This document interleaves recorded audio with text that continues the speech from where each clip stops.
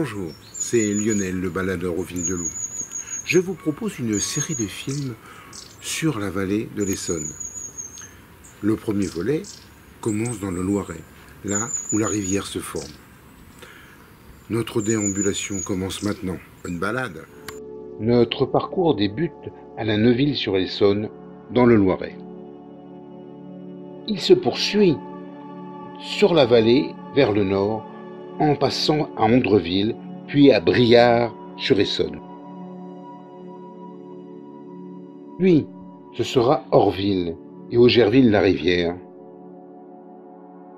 Après avoir franchi Boulancourt, nous arriverons à Butier, voisin du Malherbois. La vallée de l'Essonne fait 101 km. Elle commence près de Pithiviers dans le Loiret, par une rivière nommée la Rimarde. Marde est la rivière qui donne naissance à l'Essonne. Elle a parcouru 27 km depuis la forêt d'Orléans. Nous la suivons dans des prairies où pèsent des chevaux. Nous sommes en amont du centre-ville de la Neuville-sur-Essonne. La Rimarde est calme, malgré un bon débit, car elle a reçu pas mal d'eau euh, de diverses sources en amont. Un joli paysage rural où on observe des peupliers, des saules, des aulnes, donne un avant-goût de notre parcours descriptif de la vallée de l'Essonne. Puis la Rimarde entre dans la Neuville-sur-Essonne, où l'on remarque un balisage des GR 32 et 655 Est empruntés par les pèlerins de Saint-Jacques-de-Compostelle.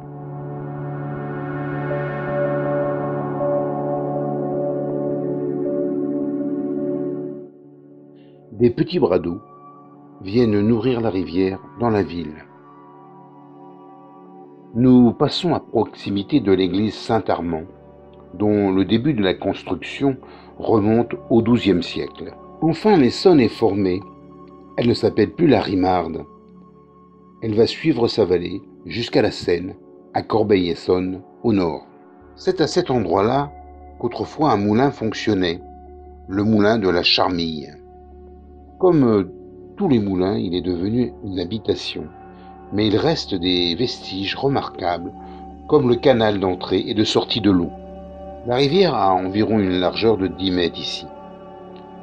Elle va descendre lentement. Nous sommes à une altitude de 90 mètres au-dessus du niveau de la mer. Puis, après avoir franchi un pont limite de commune, nous rejoignons Aulnay-la-Rivière, tout proche de la confluence d'un autre affluent nommé l'Œuf. Nous voici au joli château de Roche-Plate, dont le parc est arrosé par le rue de l'Œuf. Ce château date de 1796. Il est construit sur des ruines d'un ancien château médiéval, du XIe. Il appartient aux descendants de la famille du maréchal d'Empire Murat. Au printemps, les arbres de Judée, à l'entrée, nous régalent de leurs jolies fleurs roses. Nous sommes aux confins de la Beauce à l'ouest et du Gâtinais à l'est. Le paysage est une vallée coupant le plateau agricole avec principalement des céréales. Ce plateau calcaire est particulièrement riche et donne de belles productions comme le colza, le blé ou l'orge par exemple.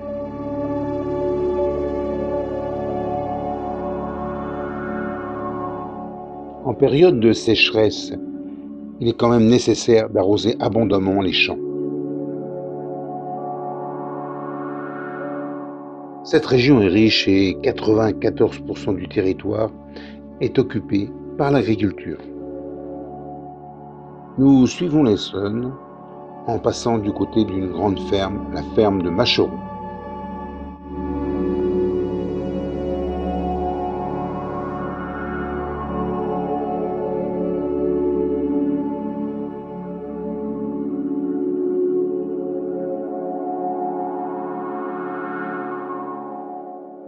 Puis nous voici au moulin de la Groue, qui lui aussi a été reconverti en habitation. Il a travaillé de longues années recevant l'eau de la rivière qui permettait de convertir le flux d'eau en force motrice.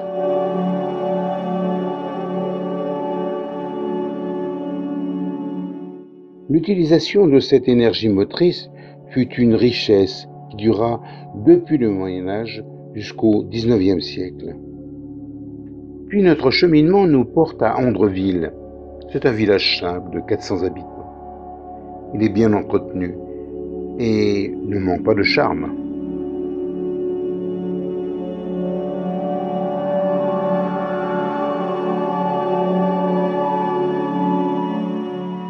Le parvis de l'église expose une meule de moulin, preuve de l'existence avérée et vitale de la meunerie sur la vallée de l'Essonne. Sur la rive gauche de l'Essonne, le village de Villeroux nous montre une jolie ferme cossue. La commune d'Andreville est intégrée au réseau Natura 2000 depuis 2004. Ce site nous présente un ensemble d'îlots ou de méandres de la rivière de grande richesse écologique. La vallée est entourée de coteaux calcaires qui ont des espèces calcicoles de plantes donc spécifiques. Le fond de la vallée, elle, nous présente une formation végétale se développant sur des sols humides, mais riches en humus, décomposés depuis des siècles. Les prairies proches de la rivière accueillent aussi de l'élevage, comme ici des moutons. Puis le GR 655 longe les marais des grands prés, vastes zones humides où les roselières sont bien développées.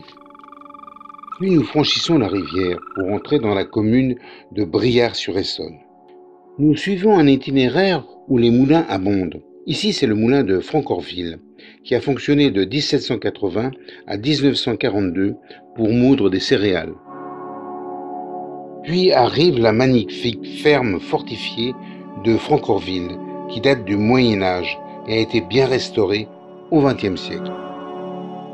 Cette ferme est dotée d'un superbe pigeonnier présentant une charpente en roue de charrette.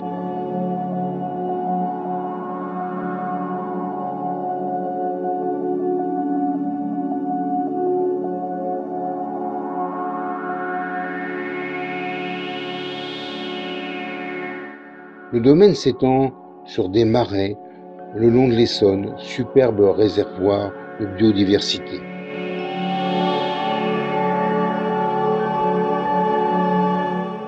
L'église de Saint-Étienne a été construite entre le XIIIe et le XVIIe siècle. Elle possède un remarquable rétable d'époque Louis XV.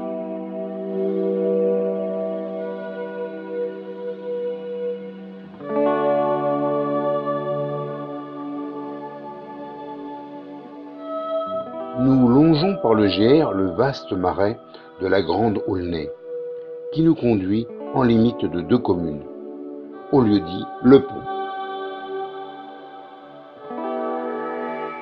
Le terme de forêt alluviale prend son sens à cet endroit où il y a une forte diversité végétale.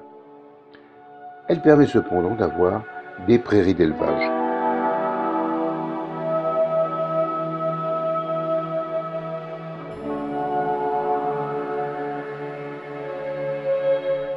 L'aulne est l'arbre typique de la ripisylve, bord de zones humides boisées.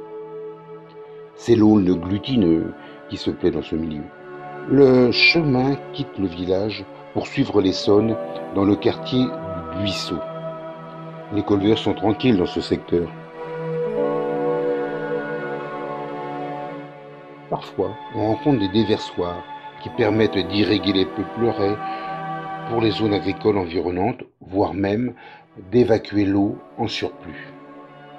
Nous voici à l'un des anciens moulins de Briard, le moulin de Buisseau, qui date du XVIIIe siècle et qui dépendait du seigneur local autrefois.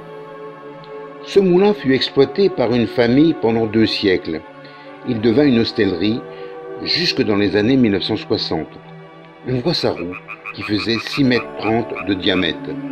Nous filons dans les marais de Dimangeville, en bordure de culture, où des mares nous offrent la vue de roseaux ou de phragmites. Orville, enfin, nous montre son pont de pierre sur l'Essonne, faisant limite avec Dimangeville. Le lavoir a fait l'objet d'une belle restauration et lui valut d'être classé patrimoine régional. Le moulin à Orville a fonctionné jusqu'au début du 19e siècle. Les coteaux ici sont caractéristiques de la limite avec la Beauce, qui est un puissant socle calcaire. Des petites falaises que la rivière a taillées depuis des siècles nous apparaissent. Puis nous entrons dans la forêt alluviale de Orville, dont le sol est très humide et a un rôle dans l'épuration naturelle de l'eau. Notre déambulation passe par le château d'Augerville-la-Rivière, dont l'histoire remonte au XIIe siècle. Ce château eut de nombreux propriétaires. Il fut souvent ruiné du fait des guerres ou des successions difficiles. Il a été restauré au XIXe siècle par Pierre-Antoine Berrier, avocat et homme politique. La vallée de l'Essonne traverse le parc du château. Un magnifique golf et une hôtellerie de luxe permettent de donner vie à ce site.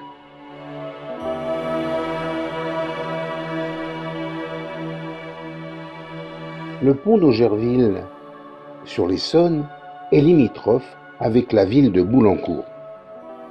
Le site est agréablement entretenu. Nous y trouvons un joli lavoir, lieu que les lavandières venaient égayer de leurs échanges jusqu'au milieu du XXe siècle.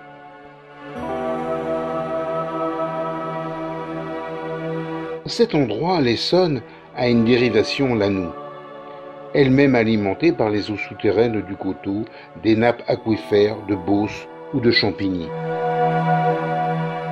Nous passons à côté du moulin Foulon, qui était un moulin à céréales et qui devient un foulon pour fouler les tissus pour les assouplir.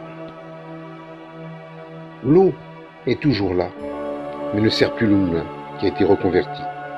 Bien restauré, c'est un endroit très agréable à vivre. Pour fonctionner correctement, les moulins à eau utilisaient des biefs, sortes de canaux, dérivation du cours principal. Cela permettait de réguler le flux d'eau en fonction du niveau de la rivière. À Boulogne-Court, on remarque l'église en passant dans le centre-ville.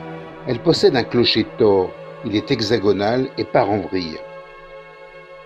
Nous quittons le Lilo de la rivière pour remonter sur le plateau en direction du Malherbois, regroupement de sept communes autour de la ville de Malzerbe. La vallée à Butier délimite les deux départements du Loiret et de la Seine-et-Marne.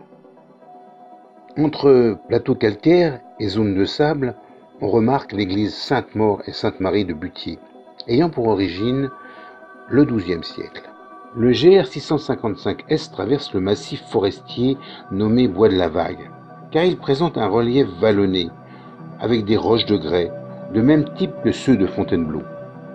Le sentier nous conduit vers l'île de loisirs de Butier, base de plein air. Elle offre sur 140 hectares de nombreuses activités.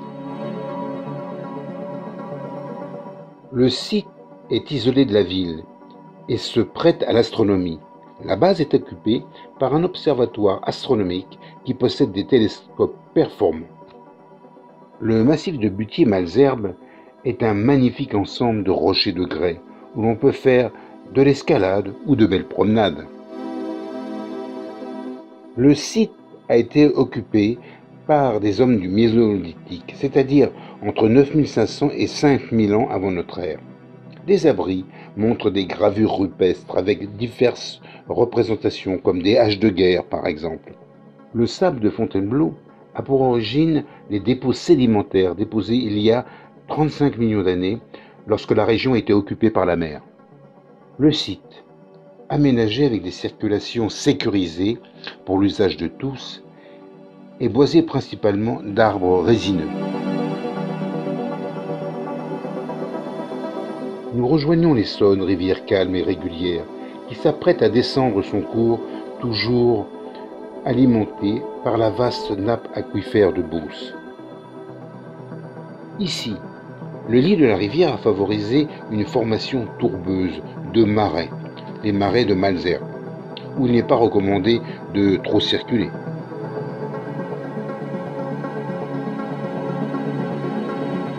C'est sur cette vue de la rivière côté de Malzerbe que nous nous quittons, en espérant vous retrouver sur la suite de notre descente au fil de l'Essonne.